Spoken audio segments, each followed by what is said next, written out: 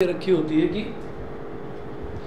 वो still water में यानी कि रुके हुए पानी में वो कितनी स्पीड से स्विम कर रहे हैं। तो इसी तरीके से यहाँ पर भी इन्होंने पूछा है कि find the speed of the boat in still water still water मतलब रुका हुआ पानी and that of the stream stream का मतलब होता है जो पानी में लहरें उठती हैं ठीक है? तो अब दो जो टर्म्स हम नहीं पढ़ रहे हैं वो है अपस्ट्रीम और डाउनस्ट्रीम तो अपस्ट्रीम क्या होती है कि जैसे मान लीजिए हम आ, हमारी बोट ऐसे चल रही है ठीक है? और अपस्ट्रीम का मतलब ये है कि जो लहरें हैं, वो हमारी तरफ़ आ रही हैं। तो इसका मतलब हमें बोट चलाने में तकलीफ़ होगी बोट चलाने में थोड़ी ज़्यादा एनर्जी लगानी पड़ेगी। तो इसका मतलब क्या है? वैसे ही सोच लो। कि अगर मान लीजिए कि हमारी जो बोट है, हमारी बोट की स्पीड स्टिल वाटर में मान लीजिए ट्वेंटी किलोमीटर पर आर है और three kilometre per hour stream की स्पीड है। स्ट्रीम हमारी तरफ़ आ रही है। तो इसका मतलब स्ट्रीम हमको रोकने की कोशिश करेगी। तो हमारी इफ़ेक्टिव स्पीड क्या होगी? ट्वेंटी तो हमारी स्पीड है। और three kilometre per hour boat की स्ट्रीम की स्पीड है जो हमारी तरफ़ आ रही है तो ट्वेंटी माइनस थ्री यानी कि सेवनटीन किलोमीटर पर आर की इफ़ेक्टिव स्पीड से हम आगे चलेंगे। इसको बोलते हैं अपस्ट्रीम अपस्ट्रीम का मतलब ये है कि लहरों के अपोजिट डायरेक्शन में ट्रैवल करना। अब बात करते हैं डाउन स्ट्रीम की। तो डाउन स्ट्रीम क्या होता है? डाउन स्ट्रीम का मतलब ये है कि लहरें भी उसी डायरेक्शन में जा रही हैं और हमारी बोट भी उसी डायरेक्शन में जा रही है। फिर से सोचिए सेम एग्ज़ाम्पल कि 20 किलोमीटर पर आवर हमारी स्पीड है। स्ट्रीम की स्पीड भी 3 किलोमीटर पर आवर वही सेम वाली है। तो 20 हमारी और स्ट्रीम की भी हमारी तरफ़ तो स्ट्रीम तो हमको सपोर्ट कर रही है ना। तो हमारी इफ़ेक्टिव स्पीड क्या हो जाएगी? 20 हमारी स्पीड और थ्री किलोमीटर पर आवर से स्ट्रीम हमको पुश कर रही है कि चलो, आगे चलो। तो इसका मतलब हमारी इफ़ेक्टिव स्पीड हो गई 23 किलोमीटर पर आवर समझ गए? तो दो चीज़ें हैं। डाउन स्ट्रीम का मतलब ये है कि down with the wave wave के साथ साथ आप चल रहे हैं। अप स्ट्रीम का मतलब है opposite to the wave opposite to the देखिए, यहाँ पर तीन अलग अलग शब्द यूज़ करे जा सकते हैं। जैसे यहाँ पर इन्होंने स्ट्रीम बोला है स्ट्रीम भी बोल सकते हैं वो इसको वो इसको वेव भी बोल सकते हैं, वो इसको करंट भी बोल सकते हैं। तो करंट अगर पेपर में लिखा हुआ आ जाए तो ये मत समझना कि करंट का मतलब तो ये इलेक्ट्रिक करंट से है। करंट का मतलब है एनीथिंग विच फ्लोज ठीक है? ऐसे ही बैंक जो होता है वो सिर्फ़ पैसा जमा करने वाली जगह नहीं होती, नदी के किनारे को भी बैंक बोलते हैं। ठीक है तो ये दो तीन शब्दों का ध्यान रखना। करंट मतलब जो वेव है, जो स्ट्रीम है, जो लहरें हैं, उनको भी हम करंट बोल देते हैं। बताइए भाई अपस्ट्रीम डाउनस्ट्रीम क्लियर है? आ रहा है आयुष्मान? सुभान बताइए। ठीक है। तो हमें हमेशा क्या करना है कि जब भी कभी हमको कुछ इस तरीके का क्वेश्चन दिखाई दे जाए जिसमें अपस्ट्रीम हो डाउनस्ट्रीम हो तो आप ये समझ जाना कि आपको एक ही प्रोसीजर फॉलो करना है। आप नोट करें यहाँ पर let the speed of boat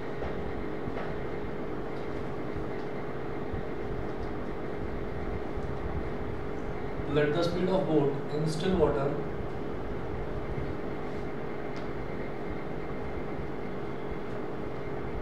Let the speed of boat in still water be.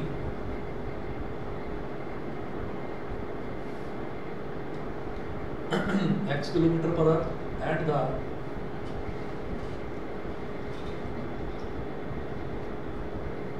speed of stream b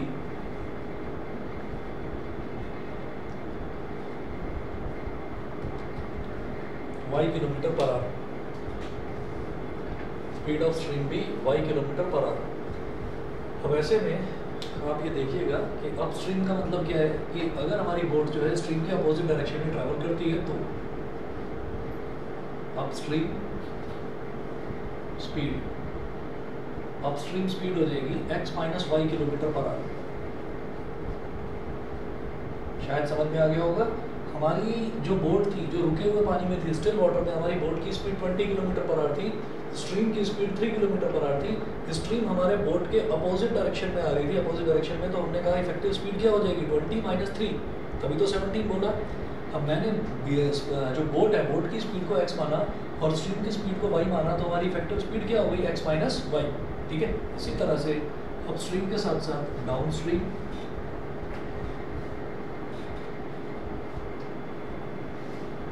speed x plus y.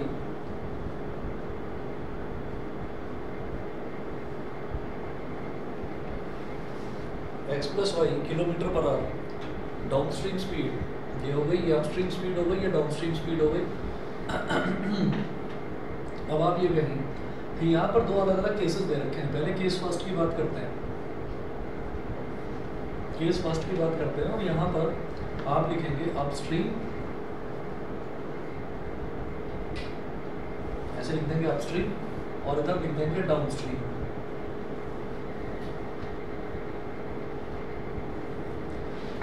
देखो, इन्होंने क्या बोला? शुरुआत में इन्होंने दो केसेस दे रखे हैं हमको। तो फ़र्स्ट केस में ये क्या बोल रहे हैं? Boat covers 30 kilometre 32 kilometre upstream एक बोट 32 किलोमीटर तो अपस्ट्रीम जाती है। अपस्ट्रीम यानी कि लहरों के अपोजिट जाती है 32 किलोमीटर एंड 36 किलोमीटर डाउनस्ट्रीम वही सेम बोट 36 किलोमीटर डाउनस्ट्रीम जाती है। टोटल कितने टाइम में? सेवन आवर्स में? टोटल सेवन आवर्स में? तो आप यहाँ पर करेंगे अपस्ट्रीम वाला। केस फ़र्स्ट में केस फ़र्स्ट के अंदर भी दो केसेस हैं। तो पहले अपस्ट्रीम वाला लिखेंगे, फिर डाउनस्ट्रीम वाला लिखेंगे। अपस्ट्रीम में सबसे पहले स्पीड लिखिए स्पीड कितनी होगी? एक्स माइनस वाई अपस्ट्रीम की स्पीड एक्स माइनस वाई अच्छा कितना डिस्टेंस ट्रेवल कर रहा है अपस्ट्रीम में वो बोट 32 किलोमीटर। 32 किलोमीटर तो इसमें टाइम कितना हो गया? टी वन को लिखिए बेटा डी अपॉन एस होता है। ठीक है? डिस्टेंस अपॉन स्पीड होता है टाइम ठीक? तो ये कितना हो जाएगा हमारा? T one is equal to thirty two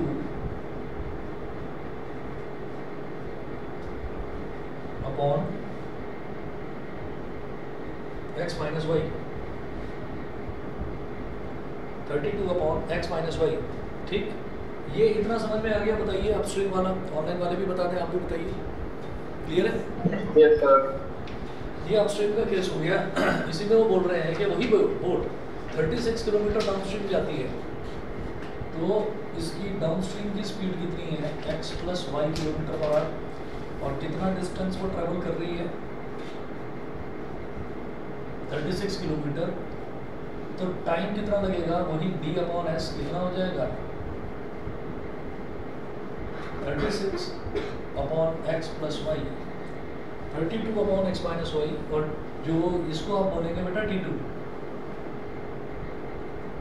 thirty two upon X minus Y hours ऐसे thirty six upon X plus Y hours ये हो गया।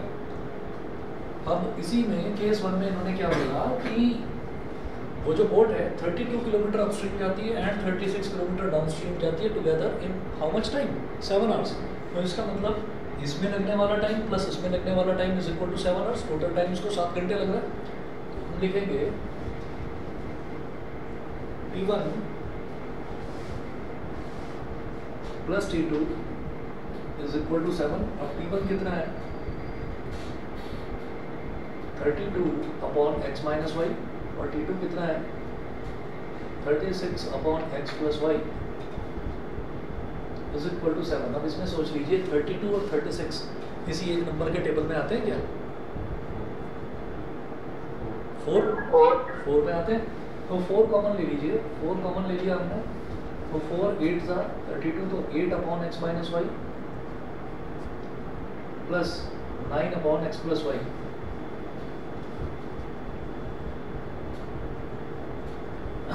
is equal to seven अब ये जो फोर है फोर इधर सेवन के नीचे चला जाएगा और इसको ऐसे लिखें eight into one upon X minus Y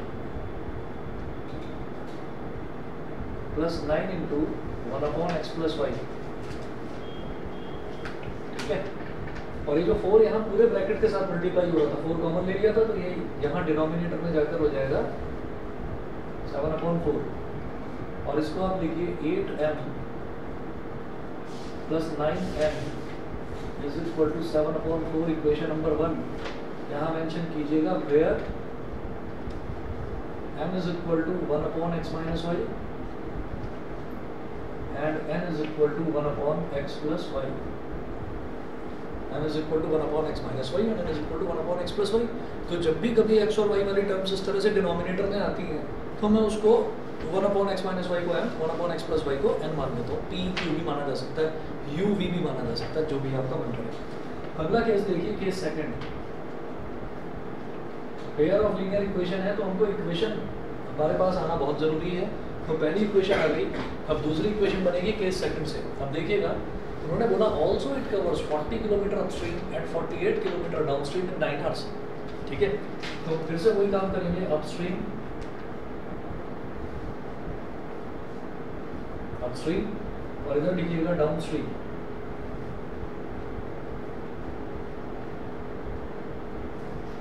upstream और डाउनस्ट्रीम तो जो अपस्ट्रीम है अपस्ट्रीम में कितना उसका लग रहा है? 40 किलोमीटर अपस्ट्रीम तो यानी कि स्पीड कितनी है? तो सॉरी हाँ स्पीड तो अपस्ट्रीम की सेम रहेगी एक्स माइनस वाई और डिस्टेंस कितना वो ट्रैवल कर रहा है इस बार? अपस्ट्रीम में 40 किलोमीटर.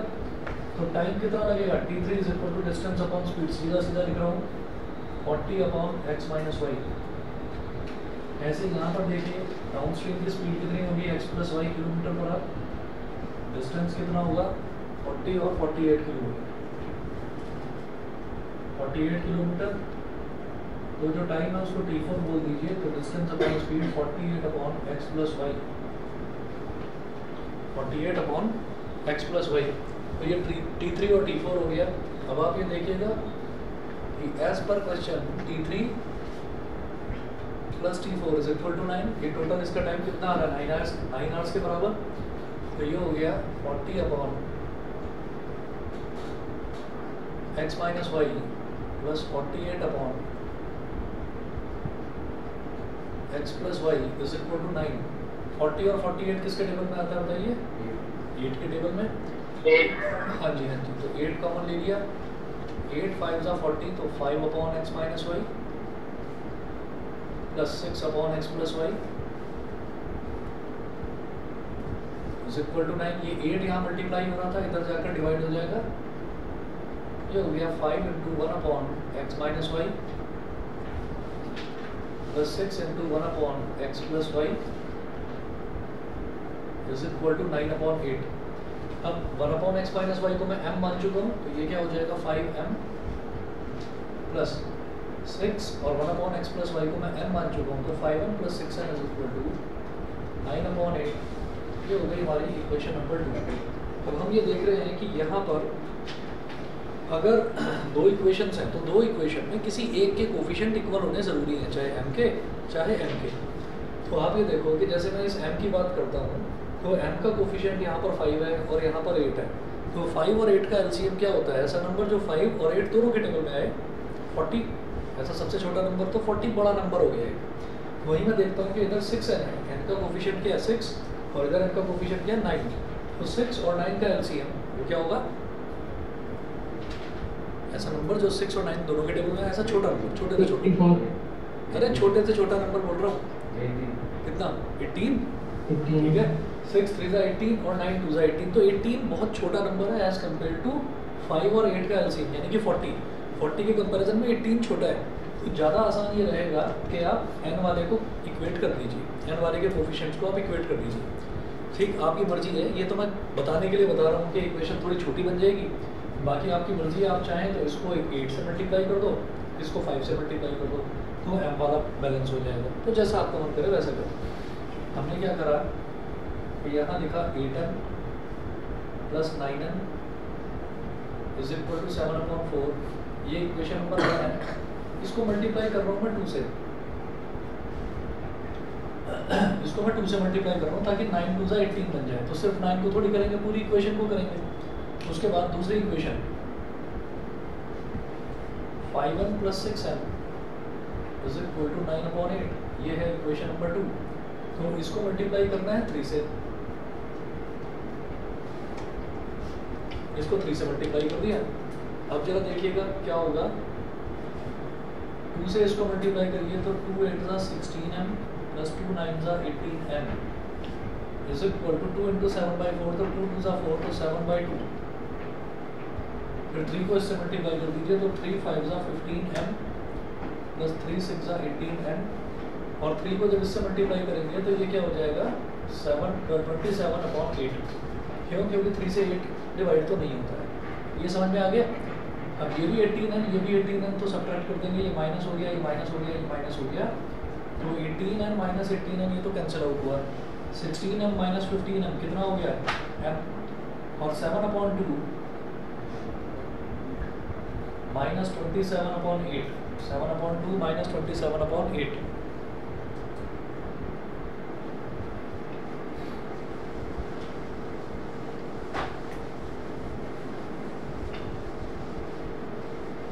तो अपस्ट्रीम डाउनस्ट्रीम का क्वेश्चन जो है थोड़ा सा लंबा ज़रूर होता है। लेकिन जो तरीका है, तरीका सेम है बिल्कुल, हर एक में आपको speed of boat and still water को एक्स मानना है स्पीड ऑफ़ स्ट्रीम को y मानना है। अप स्ट्रीम की speed x minus y downstream की स्पीड x प्लस वाई ठीक, अब देखिएगा seven upon two minus twenty seven upon eight तो टू और एट का एलसीएम ले लो।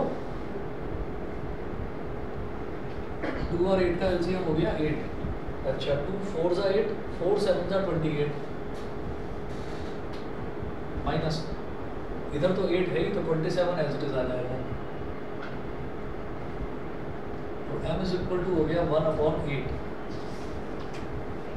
m is equal to one upon eight अब क्या करना है कि हमारे पास दो इक्वेशन थी, एक थी इक्वेशन नंबर वन और इक्वेशन नंबर टू तो m की वैल्यू आपका जिस इक्वेशन में मन करे उसमें आप डाल दीजिए। Put this value of m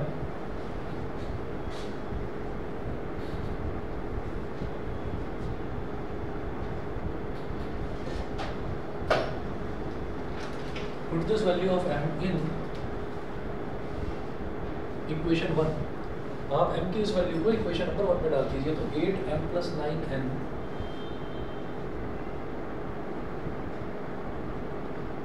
is equal to seven upon four eight multiplied by m कितना? One upon eight plus nine n is equal to seven by four eight से एट कैंसिल वन बचा इधर. One को उधर ले जाओ. Nine n is equal to seven upon four minus one seven minus four upon four nine n is equal to three upon four तो three one ज़ा three three three ज़ा nine तो three n is equal to one upon four इस three को इधर ले जाओ. N की वैल्यू आ गई वन अपॉन ट्वेल्व तो एम की value one upon eight n की वैल्यू वन अपॉन ट्वेल्व अब लिखेंगे. इधर ही साइड में लिख दो since m is equal to one upon x minus y हमने जो शुरुआत में m को लेट किया था, वो क्या माना था हमने? One upon x minus y और सॉल्व करने के बाद m की वैल्यू क्या आ रही है? One upon eight one upon eight तो दोनों का अगर रेसिप्रोकल करेंगे implies that x minus y is equal to 8 इसको बोलिए इक्वेशन नंबर थ्री इसको बोलिए इक्वेशन नंबर थ्री उसके बाद देखिएगा n की वैल्यू क्या है one upon x plus y और कितना आएगा? वन अपॉइंट ट्वेल्व तो अगर इसका रेसिप्रोकल करेंगे, क्या आ जाएगा? X plus y is equal to twelve ये हो गई हमारी इक्वेशन नंबर फोर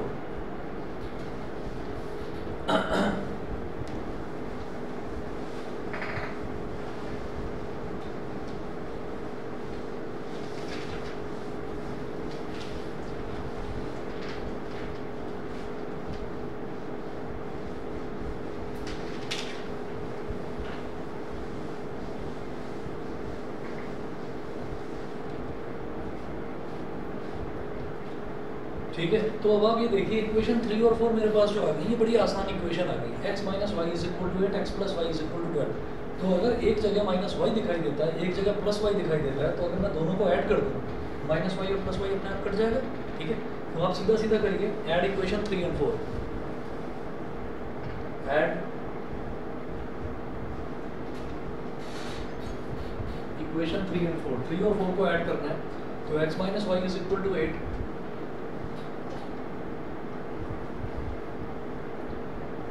और x plus y is equal to twelve जब ऐड करेंगे तो minus y plus y cancel out x plus x कितना हो गया? टू एक्स और एट प्लस ट्वेल्व हो गया ट्वेंटी तो टू वन ज़ा टू टू टेन ज़ा ट्वेंटी तो x की वैल्यू आ गई ten kilometer per hour x हमने क्या लिया था? Speed of boat in still water तो स्टिल वाटर में, यानी कि रुके हुए पानी में, जो स्पीड ऑफ़ बोट है, वो टेन किलोमीटर पर आवर आ गई हमारे पास. y की बात करते हैं। Put this value of x in equation 3 equation 3 4 में डालो बल्कि y उसमें नेगेटिव दे रखा है ना, मर्ज़ी आपकी 3 में डालोगे, तब भी रिज़ल्ट सेम आएगा। थोड़ा इधर उधर शिफ्ट करना पड़ेगा बस। x plus y is equal to twelve x की वैल्यू टेन है ten plus y is equal to twelve ten को उधर ले जाओ। तो y is equal to twelve minus ten तो y is equal to two kilometer per hour therefore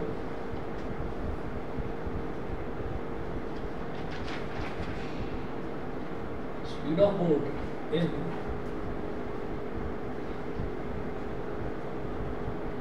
speed of boat in still water is 10 km per hour and speed of stream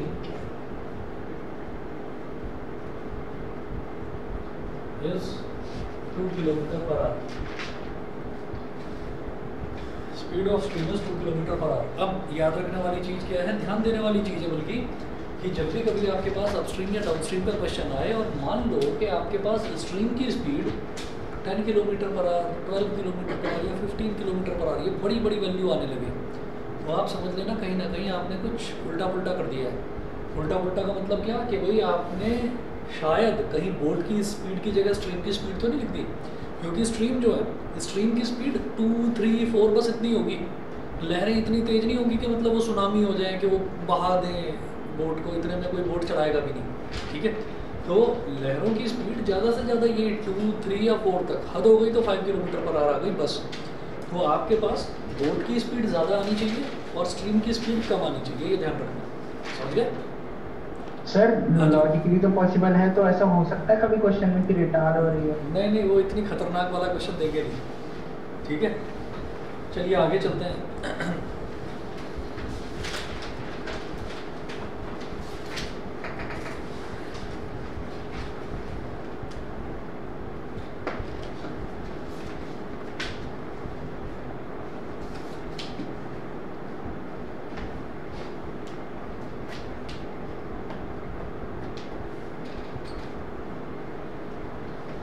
एक NCERT का question कराऊँगा ये upstream और downstream वाला।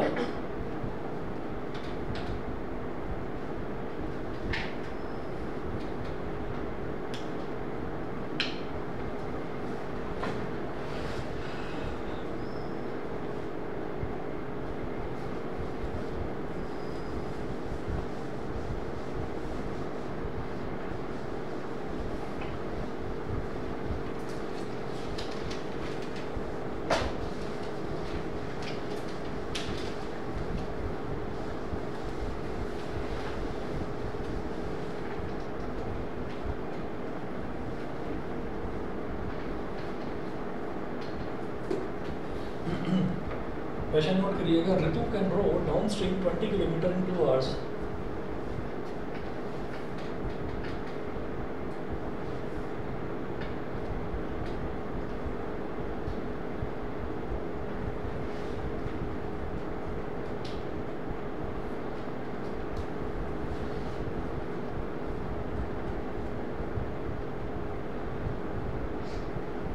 Ritu can row downstream 20 kilometer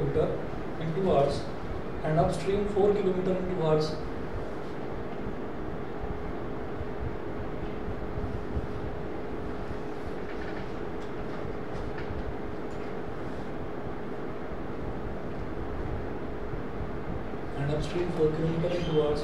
Full stop. Find her speed of rowing in still water.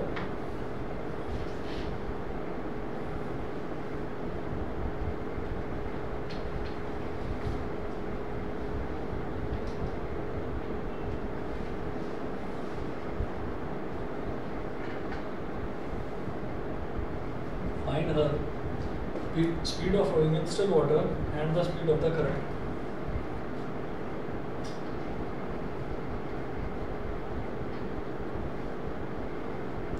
Speed of the current.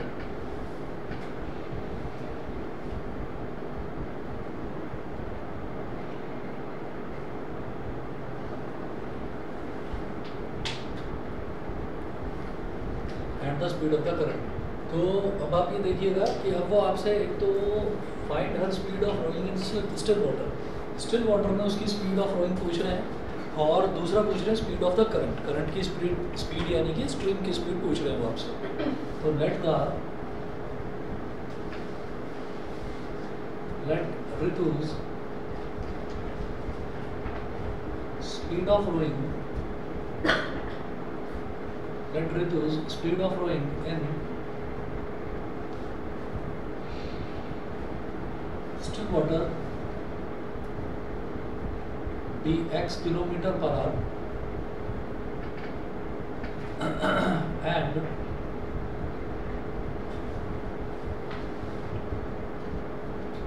the speed of the current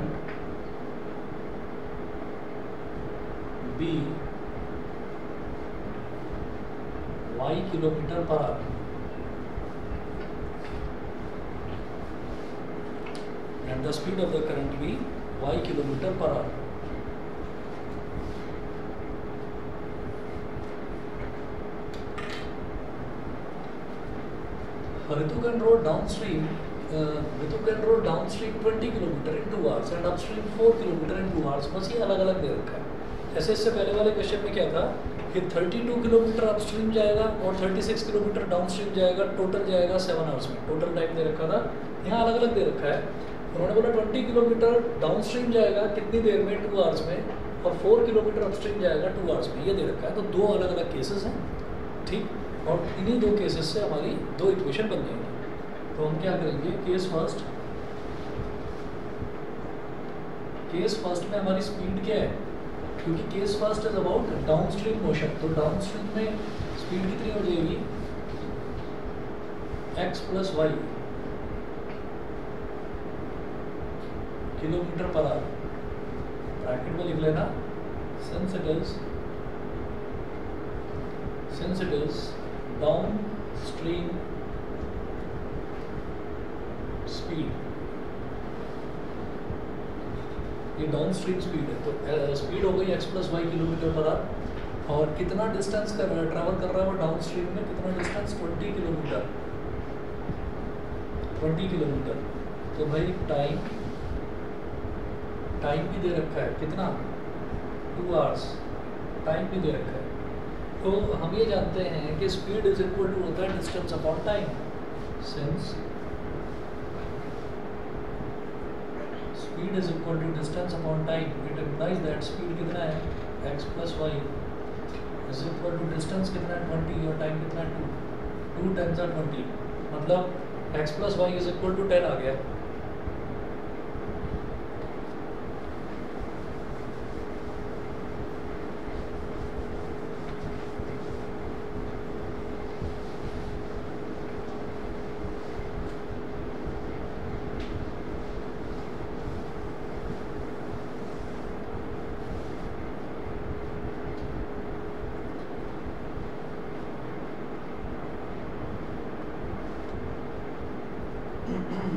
x y is equal to ten ये हो गया equation number one case first में ये हो गया equation number one उसके बाद case second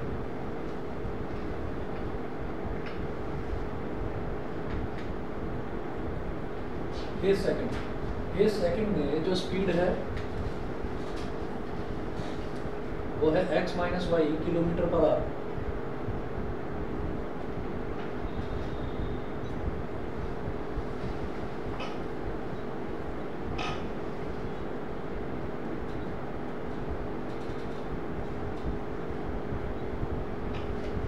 since it is upstream speed तो x minus y kilometer per hour उसके बाद कितना डिस्टेंस डिस्टेंस कितना?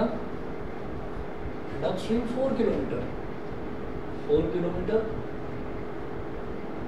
और टाइम कितना लग रहा है? Two hours speed is equal to distance upon time तो स्पीड कितना है? X माइनस वाई डिस्टेंस कितना है? Four four upon two two one ज़ा टू टू टू ज़ा four x minus y is equal to 2 this is my equation number 2 अब equation number one हो गई, x plus y.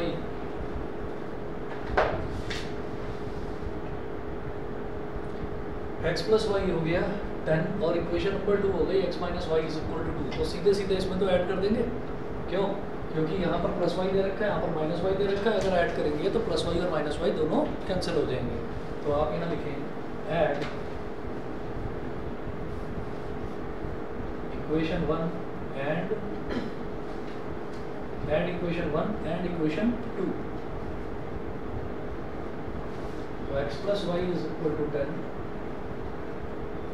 x minus y is equal to 2 तो plus Y minus Y ये दोनों cancel out हो गए। X plus x कितना हो गया? 2x और 10 प्लस टू कितना हो गया? 12 टू वन ज़ा टू टू सिक्स ट्वेल्व तो x की वैल्यू आ गई 6 x की वैल्यू 6 आ गई अब आपका जिस इक्वेशन में मन करे उसमें डाल दो। सर वाई को हाँ।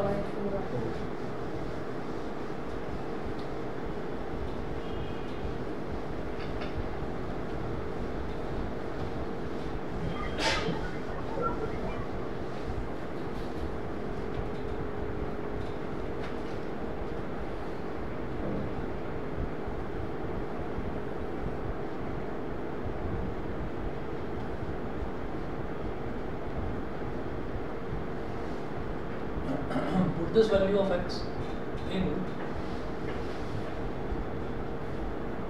equation 2 two में डाल दो, x minus y is equal to 2 x कितना है? 6 6 minus y is equal to 2 तो minus y is equal to six उधर चला जाएगा तो माइनस सिक्स हो जाएगा. Minus y is equal to two minus six तो minus y is equal to minus four minus से माइनस कैंसिल तो y is equal to four तो speed of rowing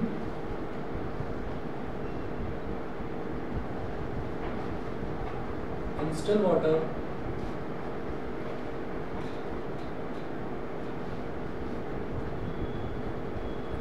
ये कितना आ गया? सिक्स किलोमीटर पर आवर और speed of current is equal to four kilometre per hour four kilometre per hour बताइए भाई विनायक सुभान आयुष्मान आर्या। है ठीक है. हाँ, चलिए आगे चलते हैं।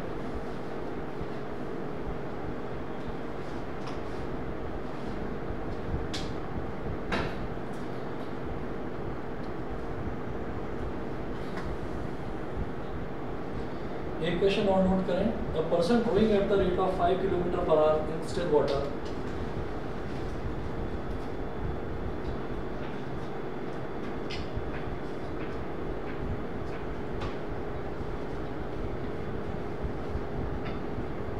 a person rowing at the rate of a person rowing at the rate of 5 kilometer per hour in still water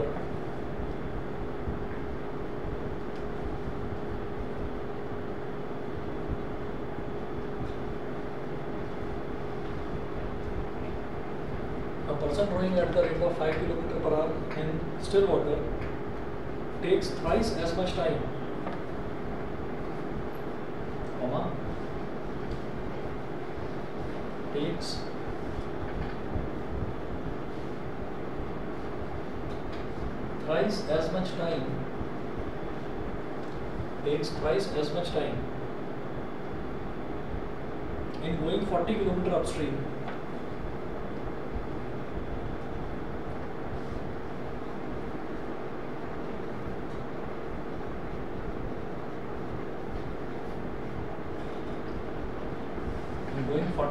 40 kilometer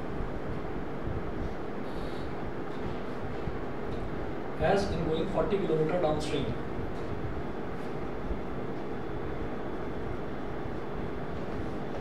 As in going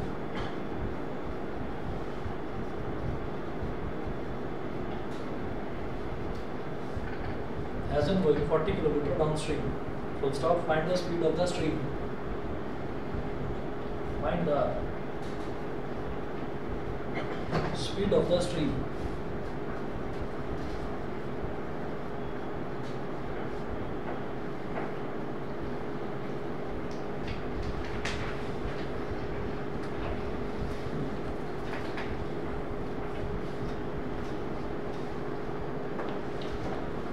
हाँ जी, इस क्वेश्चन में आप ये देखिएगा कि हमसे अपस्ट्रीम और डाउनस्ट्रीम वाले क्वेश्चंस जो अभी तक हमने देखे, उनमें हमको ये पूछा गया था कि या तो आप speed of boat and still water बताइए और साथ साथ आप स्पीड ऑफ़ स्ट्रीम बताइए। स्पीड ऑफ़ स्ट्रीम मतलब स्पीड ऑफ़ करंट बताइए, ठीक है?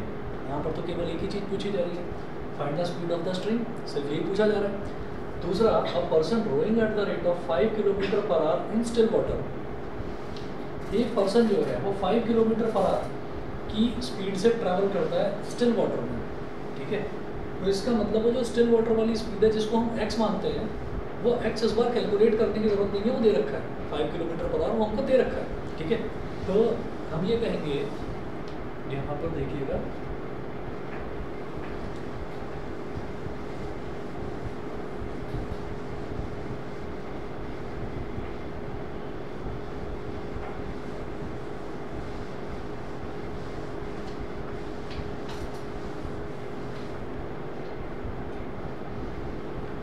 यहाँ आप लिखिएगा इसके सॉल्यूशन में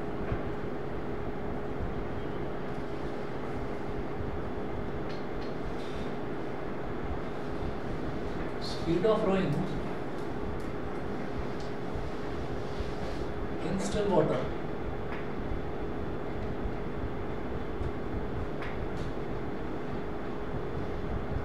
Speed of rowing in still water तो रोइंग की स्पीड स्टिल वाटर में हमको दे रखी है फाइव किलोमीटर पर आवर ठीक है, ये दे रखा है। तो एक्स मारने की ज़रूरत नहीं है। हम्म। अब इसके बाद लेट द क्या पूछ रहे हैं find the speed of the stream तो लेट द सर थ्राइस जो टाइम है वो डाउनस्ट्रीम जाने में लग रहा है कि upstream takes thrice as much time in going 40 kilometre upstream as in going 40 kilometre downstream. देखो इस सेंटेंस से क्या समझते हैं?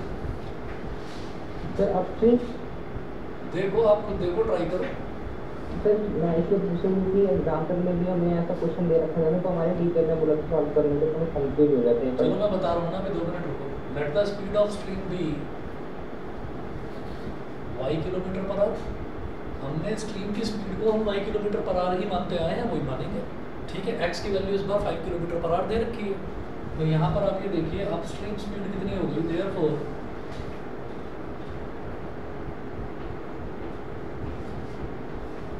अपस्ट्रीम स्पीड कितनी होगी? क्या होती थी? x माइनस वाई अब होगी 5 minus y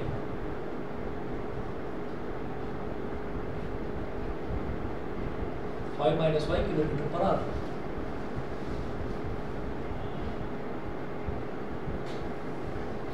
downstream speed ये हो गई five plus y five plus y kilometre per hour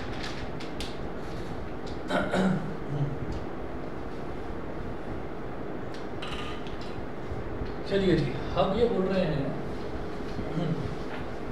person rowing at the rate of 5 km per hour in still water takes twice as much time in going 40 km upstream. 40 kilometre upstream जाने में उसको तीन गुना time लगना है लग, लगता है as in going 40 kilometre downstream और खुद ही सोच लीजिए डाउनस्ट्रीम ट्रैवल करने में टाइम कम लगेगा ज़्यादा लगेगा? कम लगेगा क्योंकि डाउनस्ट्रीम में तो स्ट्रीम आपकी मदद कर रही है और तेज चला रही है आपको। तो डाउनस्ट्रीम में तो स्पीड एडअप हो जाती है तो डाउनस्ट्रीम में कम टाइम लगेगा और अपस्ट्रीम में ज़्यादा टाइम लगेगा। तो अपस्ट्रीम में कितना टाइम लग रहा है? बोल रहे हैं थ्राइस लग रहा है तीन गुना थ्री टाइम्स तो हम ये कहेंगे कि यहाँ पर time taken in going Ayushman समझ में आ गया? Yes sir Okay. Time taken in going upstream is equal to three times the time taken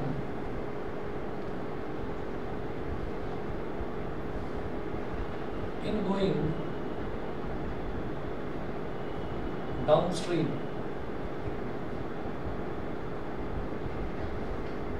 Time taken in going downstream. तो time taken in going upstream अब जरा ये बताइए, देखिए टाइम टेकन क्या होता है? डिस्टेंस अपॉन स्पीड ठीक है? तो आपको देखिएगा, यहाँ पर twice as much time going 40 kilometre upstream तो 40 किलोमीटर क्या हो गया? अपस्ट्रीम का डिस्टेंस और अपस्ट्रीम की स्पीड मुझे मालूम है 5 माइनस वाई तो डिस्टेंस अपॉन स्पीड क्या हो जाता है? टाइम हो जाता है।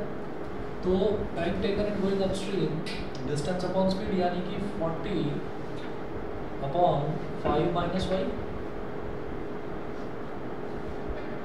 is equal to three times time taken in going downstream downstream जाने में कितना टाइम फोर्टी किलोमीटर डाउनस्ट्रीम है डिस्टेंस फोर्टी और डाउनस्ट्रीम की स्पीड कितनी है? फाइव प्लस वाई ये हो गया। मल्टीप्लीकेशन हो रहा है। न्यूमरेटर में थ्री इंटू फोर्टी और इधर भी फोर्टी है तो फोर्टी से फोर्टी कैंसिल आउट हो जाएगा। उसके बाद फाइव प्लस वाई इधर आ गया। फाइव प्लस वाई इधर वन से मल्टीप्लाई हो जाएगा और फाइव माइनस वाई इधर थ्री से मल्टीप्लाई हो जाएगा। Three into five minus y तो ये हो गया five plus y is equal to three five ज़ा फिफ्टीन और थ्री इंटू माइनस वाई कितना हो गया? Minus three y minus three y को इधर ले आओ। Y plus three y is equal to fifteen minus five y plus three y कितना हो गया? Four y fifteen minus five कितना हो गया? टेन हो गया। तो y is equal to ten upon four मतलब 2.5 किलोमीटर पर आवर। तो ये हमारी किसकी स्पीड आ गई? स्ट्रीम की स्पीड आ गई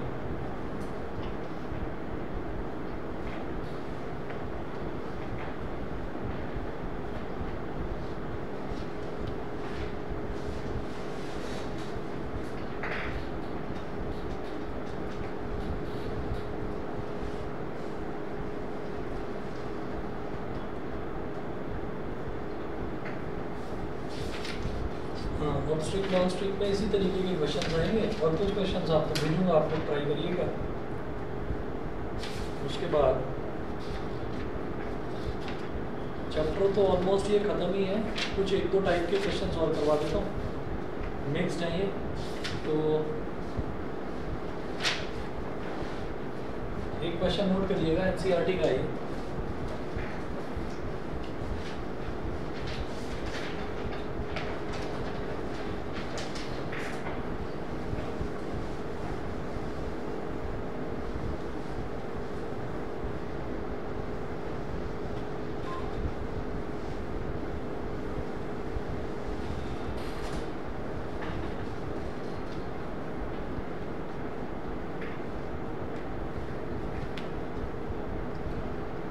the area of a rectangle gets reduced by 9 square units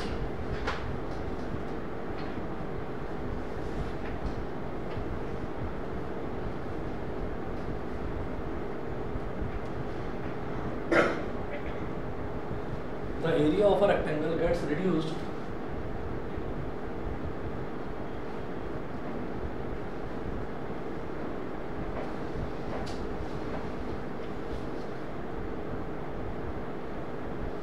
the area of a rectangle gets reduced by 9 square units. If its length if its length is reduced by 5 units.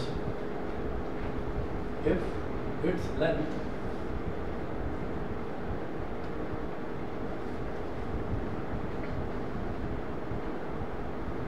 is reduced by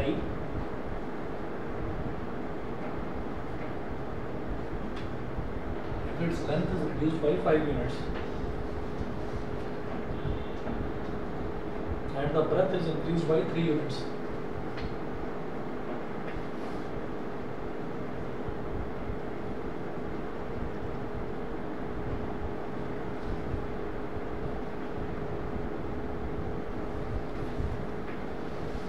And the breadth is increased by 3 units.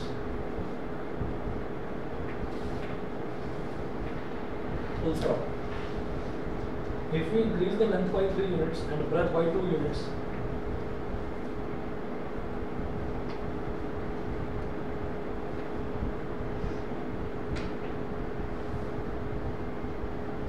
if we increase length by 3 units and breadth by 2 units,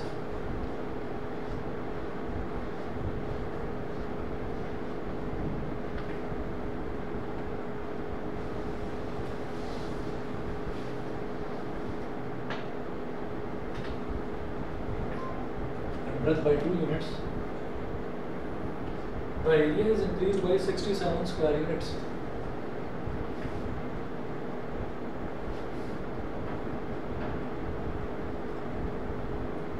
The area is increased by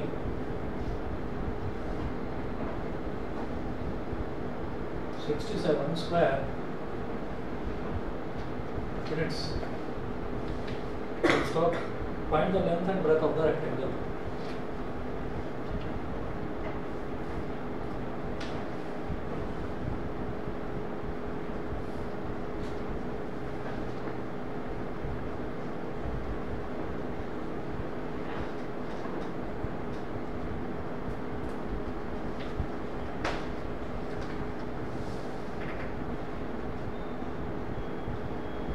The area of a rectangle gets reduced by 9 square units if its length is reduced by 5 units and breadth is increased by 3 units. ये पूरी की पूरी एक condition दे रखी है हमें ये देखना होता है कि हमसे पूछा क्या जा रहा है find the length and breadth of the rectangle तो जो चीज़ हमसे पूछी जा रही है हमें उसी को एक्स और वाई मान लेना है ठीक है तो देखिएगा यहाँ पर let the length of rectangle be x units. And the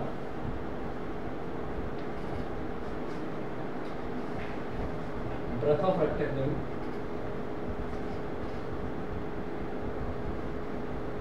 Be y units. Y units तो अब ये देखिएगा कि जो हमसे पूछा जा रहा है, उसको हमने एक्स और वाई मान लिया। अब एरिया क्या हो जाएगा?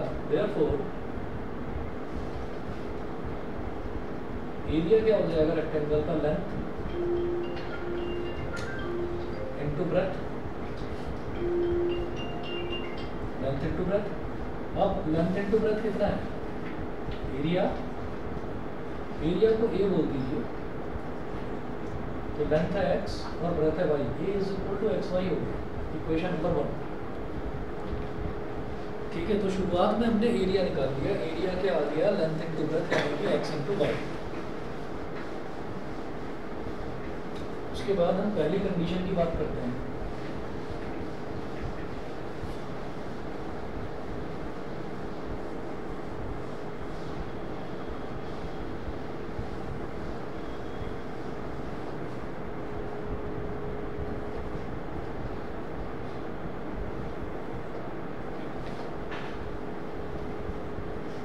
फ़र्स्ट कंडीशन की बात करते हैं। वो क्या बोल रहे हैं? The area of a rectangle gets reduced by 9 square units if its length is reduced by 5 units and breadth is increased by 3 units तो केस फ़र्स्ट केस फ़र्स्ट में जो लेंथ है लेंथ को एल बोल दिया तो वो क्या बोल रहे हैं? If its length is reduced by 5 units तो लेंथ ओरिजिनली कितनी थी? X थी। अब उसको रिड्यूस करके कितना कर दिया? X minus five length is reduced by 5 units तो L हो गया x माइनस फाइव और जो ब्रेथ है and breadth is increase by three units तो ब्रेथ को थ्री यूनिट इंक्रीज कर दिया x प्लस थ्री कर दिया x minus five x plus three ये कर दिया। तो वो बोल रहे हैं कि अब इसमें एरिया कितना हो जाएगा? Area. Sorry sorry sorry y plus three y plus three तो वो बोल रहे हैं the area of rectangle gets reduced by nine square units ठीक है? तो लेंथ इनटू ब्रेथ एरिया क्या आ गया लेंथ इनटू ब्रेथ होगा। और ओरिजिनली एरिया कितना था? एक्स वाई था। X into y originally area ये था ना एक्स वाई तो वो बोल रहे हैं कि its area is reduced by nine square units यानी कि पहले एक्स वाई था, अब घटकर एक्स वाई माइनस नाइन हो गया। ये समझ गए? ठीक है? और एरिया होता क्या? एल इंटू बी तो एल इंटू बी इनको मल्टीप्लाई करिए। तो x minus five into y plus three is equal to x y minus nine जरा देखिएगा इसको मल्टीप्लाई करके, ये हो गया एक्स इंटू वाई हो गया x y x into three हो गया three x minus five into y हो गया minus five y minus five into three हो गया minus fifteen is equal to x y minus nine इधर भी प्लस का एक्स वाई इधर भी प्लस का एक्स वाई कैंसिल आउट हो गया. माइनस फिफ्टीन को उधर ले जाओ minus five y is equal to minus fifteen उधर गया तो plus fifteen fifteen minus nine three x minus five y is equal ये क्या हो गई? इक्वेशन नंबर टू यहाँ तक समझ गए? ठीक है? उसके बाद देखिएगा जी case number two case second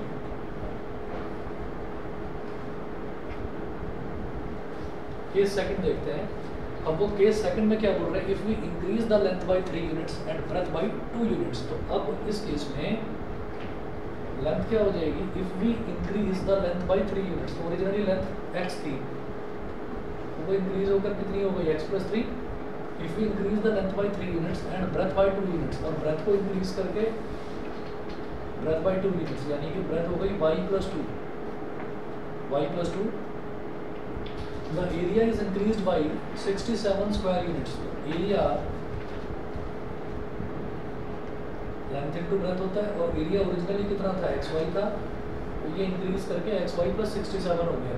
Area increase by sixty seven square units तो लेंथ कितना है? एक्स प्लस थ्री और ब्रेथ कितना है? वाई प्लस टू ये कितना आ गया? X y plus sixty seven x into y क्या हो गया? X y x into two हो गया two x three into y हो गया थ्री वाई और थ्री इंटू टू हो गया six is equal to x y plus sixty seven ठीक है? एक्स वाई से एक्स वाई कट गया। Two x plus three y is equal to sixty seven minus six उधर चला जाएगा। कितना हो जाएगा? Sixty. इक्वेशन नंबर थ्री अब इसको छोड़ दूँ? अब कर लेंगे अपने आप। हम्म? हमारे पास एक इक्वेशन आ गई three x minus five y is equal to six दूसरी equation two x plus three y is equal to sixty one अब अपने आप कर लेंगे इसको, ठीक है? चलिए जी, अब इसको मैं छोड़ रहा हूँ। यहाँ तक आज इतना ही करते हैं मैथ्स में। और बाकी आप में से जो भी अभी रुकना चाहे, रुक जाएँ। आधे घंटे आगे अब केमिकल इक्वेशन एंड रिएक्शन वाला करवाऊँगा। हमने बैलेंसिंग वाला लास्ट टाइम करा था, और आज मैं कॉम्बिनेशन रिएक्शन से करवाता हूँ।